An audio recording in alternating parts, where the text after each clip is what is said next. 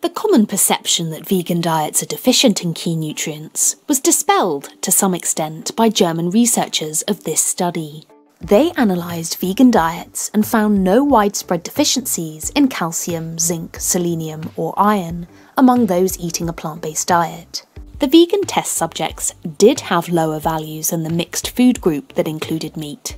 For the minerals zinc, selenium, and calcium. However, a general deficiency of the three minerals was not observed in the vegan group. This also applied to iron, of which the mixed food volunteers had about the same amount in their blood. However, when it came to iodine, both the vegans and meat eaters were deficient. One third of the vegan group had values below 20 micrograms per litre. Anything below this value is considered to be a severe iodine deficiency. To succeed on a vegan diet, we tend to have to work slightly harder than meat eaters to make sure we're getting enough of the key nutrients to maintain good health. Are there particular blood tests vegans should be asking for? Well, let's hear from registered dietitian Brenda Davis and plant based medical doctor Dr. Michael Klaper.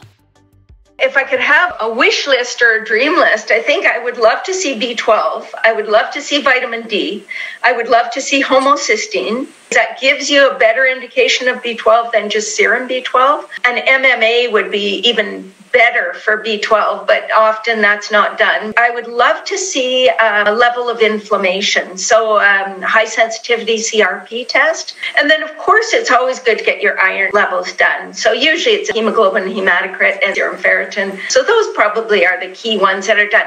Definitely, you can look at thyroid function. That can give you an indication of iodine status because often if you're low in iodine, it affects your thyroid function. Or if you're very high in iodine, you're eating a ton of seaweed, that can affect your thyroid function as well. Once a year, I have folks get a blood count, a metabolic profile for liver and kidney function, check their thyroid, make sure they're getting enough iodine, check their B12 level, and if, and if they don't have enough, then these things called MMA and homocysteine goes up, check their vitamin D. And if there are people who are just not thriving after a year, I'll send off a fatty acid profile, maybe a mineral profile, and an amino acid profile because I get the folks who aren't doing well, Doc, I think I need more protein. Uh, my friends are all telling me I'm not getting enough protein, no wonder I feel bad. There is so much protein in a whole food plant based diet. The beans and peas and chickpeas and lentils and seeds and nuts and quinoa. We have protein out the wazoo. I've never really seen a protein deficient vegan per se.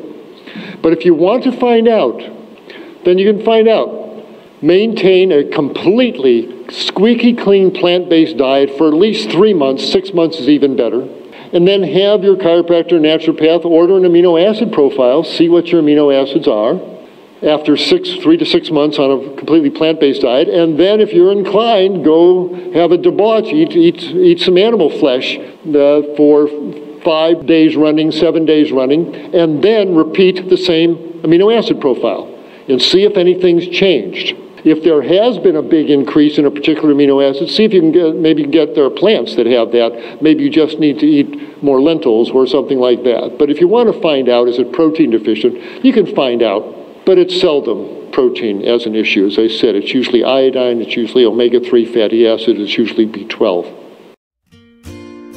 Thank you so much for watching. If you liked the video, please give it a thumbs up, leave a comment below and subscribe for more upcoming videos.